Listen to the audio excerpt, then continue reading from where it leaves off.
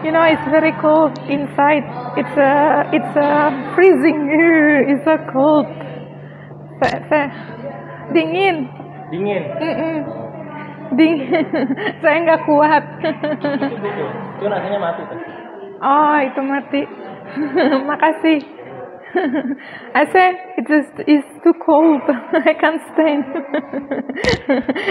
everyone say, but I know you're living in the foreign country in Europe. Yeah, but uh, I don't get used to to be to be cold. I like to be warm.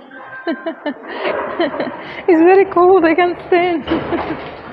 imagine, lucky I was inside and saw, you know, a bit um, street, yeah, because it's the court. Iya, saya ini, saya ini kedinginan. Saya bilang saya nggak kuat.